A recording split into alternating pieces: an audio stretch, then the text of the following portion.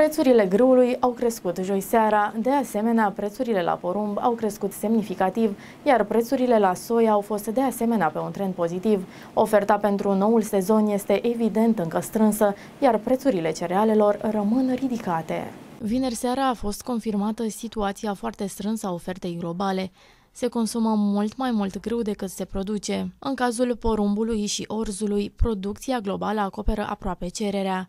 Problema este că comerțul în ansamblu rămâne semnificativ limitat, atât din cauza restricțiilor la export din India, de exemplu, cât și mai ales din cauza termenului mai lung și din cauza restricțiilor semnificative ale exporturilor din Ucraina. Prețurile grâului continuă să fluctueze sălbatic. Săptămâna trecută s-au tot plimbat între 378 de euro și 398 de euro pe tonă. Vineri, grâul din noua recoltă de pe piața europeană s-a închis la 392 de euro și luni prețurile în tranzacționare continuă au crescut cu aproape 6 euro până la 397 de euro pe tonă. Principalul motiv al fluctuațiilor cursului de schimb este marea incertitudine cu privire la posibilele deschideri de porturi în Ucraina de către Rusia, și formarea coridoarelor umanitare pentru exportul de cereale. Departamentul Agriculturii din Statele Unite aparent nu crede și a lăsat exporturile Ucrainei neschimbate în raportul său din iunie, în plus, producția globală de grâu pentru noul sezon a fost revizuită în continuare în scădere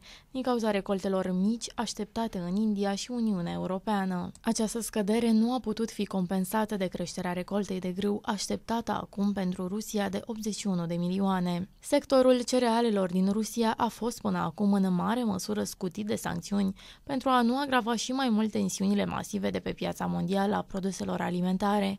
Potrivit analiștilor, acest lucru ar trebui să consolideze poziția Rusiei ca principal exportator mondial de grâu în noul sezon 2022-2023. Prin urmare, Departamentul Agriculturii din Statele Unite ale Americii se așteaptă la exporturi rusești de grâu de aproximativ 40 de milioane de tone, cu un milion de tone mai mult decât în luna precedentă și cu 7 milioane de tone mai mult decât în anul precedent. Ucraina, pe de altă parte, va continua să sufere masiv de pe urma blocadei porturilor. În același timp, fermierii ucraineni vor recolta de asemenea mult mai puțin grâu și alte cereale. Departamentul estimează recolta de grâu din iunie a Ucrainei la 21,5 milioane de tone, față de 33 de milioane de tone anul trecut, și exporturile la 10 milioane de tone față de 19 milioane de tone în sezonul trecut, relatează site-ul agrimanet.ro.